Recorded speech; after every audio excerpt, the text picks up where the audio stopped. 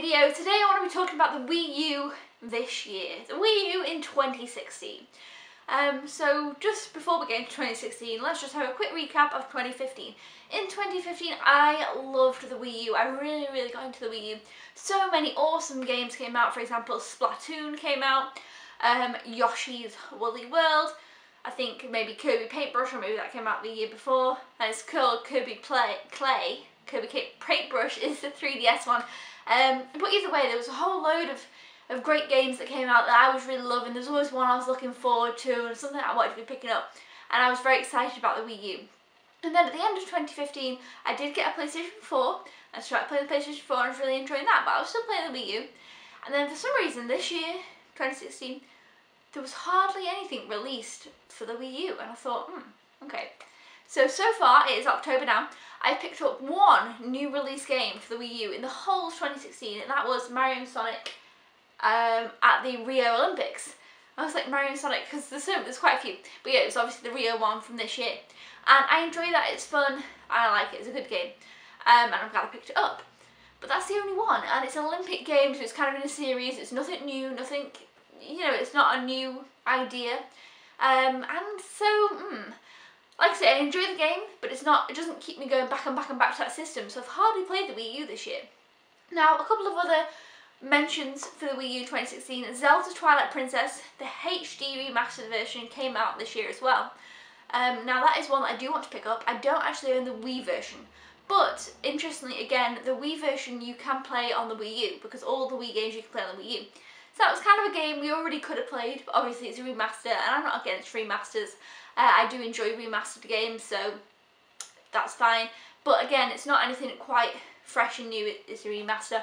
Uh, but that is one that I do want to pick up, so I do actually want to get that game, want to play through that. Um, because obviously next year, I presume is going to be the Wii U's last year, or maybe this year's its real last year. Because again, they've just brought nothing out for it, so I think they've they've they've done themselves worse off maybe. I feel I feel like the Wii U is just really it was it wasn't never doing the best. We've all got to admit it wasn't doing the best but in 2015 I thought you know what? The Wii U I love it. It's picking up it's doing I'm enjoying it I'm loving it. And then it just kind of fell right down for me right to the bottom. Um anyway so Zelda Twilight Princess is one that I I'm interested in and still want to pick up for the Wii U. Um also this year we had Star Fox Zero um, again, it wasn't something I was personally interested in, but I suppose even though obviously I know it's not a new idea, it's not a new game, it is a franchise, but I believe there hasn't been one for a really long time. Um, so, it, you know, it kind of was a bit fresh and new, especially to that Wii U system. Um, there's not a Star Fox game on the Wii U at the moment, so that was kind of new to the Wii U, whereas obviously with the Olympics, there was already a, the Winter Olympic one on the Wii U. Um, so yeah, Star Fox Zero, great for people who enjoy Star Fox. I was maybe contemplating picking it up, but I heard mixed reviews. Um, so if you've played it, let me know what you think about it down in the comments below. But I heard kind of mixed things, and I kind of looked into it and thought, hmm, I don't think it'll be something for me. Um, when I play, for example, Ratchet and Clank, there's some kind of space spaceship driving in that, and I'm terrible at flying that spaceship.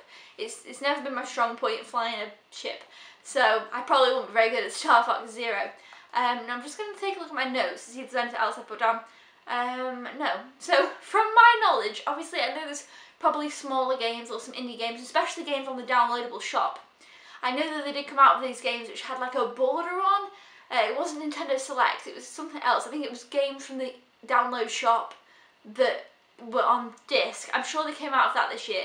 But as far as main games, there was Mario Sonic at the Rio, Legend of Zelda Twilight Princess, and Star Fox Zero. Those are the only three kind of big ones I can think of. And that's pretty poor for a whole year. Um, now, other games that also came out, of that they're just, sorry, um, that console only. Wii U exclusives. Well, Nintendo exclusives, because obviously Rio came out on the 3DS. Now, other games to mention that did come out this year, but also on other platforms, we had Lego Star Wars, obviously that came out on a whole bunch of systems um, and I actually still don't own that. I do want to pick that up on the PS4 but I've been so into LEGO Dimensions I haven't had much time to put into another LEGO game. We also had Mighty, Mighty Number no. 9 which I heard some pretty not too great things about so I haven't picked that one up yet but again it's on a bunch of systems so there's that one and Darksiders which was a re-release of the original Darksiders I believe which interestingly it came out on PS4 and maybe Xbox I'm not sure but it also came out on Wii U. I thought that was really interesting. I thought I was really surprised by that. Um, yeah, so those are kind of some other games that came out this year. that were on the Wii U, but also on other systems. Now, we also have, I thought this game came out this year, I looked it up on Amazon, and apparently it didn't. Sonic Boom, Fire and Ice, did that not come out this year on the Wii U? There's quite a few Sonic games on the Wii U, and obviously they are exclusive to the Wii U, but I, from what I googled, that didn't come out this year, but I thought it did. Oh, I just kind of feel like it was quite recent, so maybe that's, it was a long time ago, but I felt like it was kind of new, I don't know. Um, but yes, maybe it didn't, maybe it did. Who knows? Um, and then a game that's upcoming, it comes out actually tomorrow. So a game that comes out tomorrow is Paper Mario Colour Splash.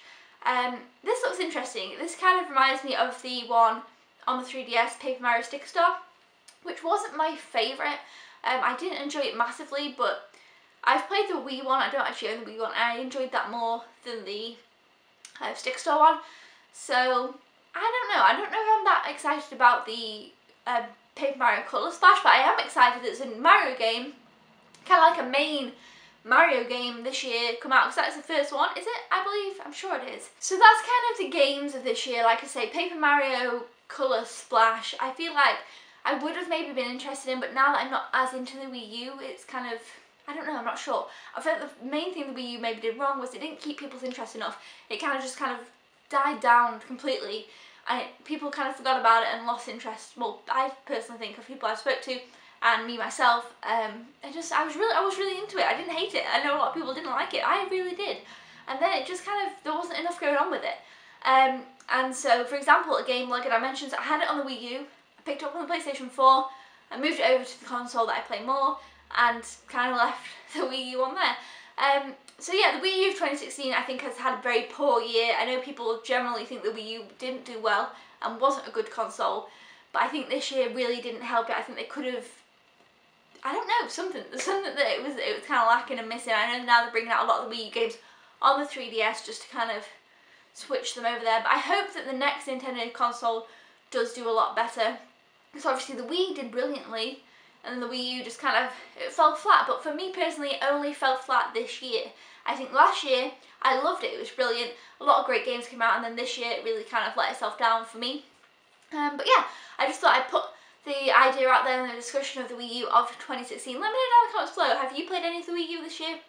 Have you picked up any new games this year?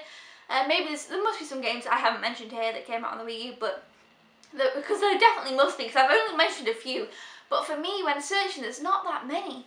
I just can't find too many games, you know, when you look it up. So, I don't know. And I've not heard about that many. So maybe maybe there are a few more and people just aren't hearing about them and that might not help as well. Uh, but yeah, let me know your thoughts on the Wii U this year. Let me know what you think is going to happen next year with the next console. Uh, comment down below your thoughts and I'll see you guys next time. Thumbs up if you enjoyed this discussion Wii U game video. Uh, subscribe if you haven't already or if you are a newbie. And I'll see you guys next time. Thank you for watching. Goodbye!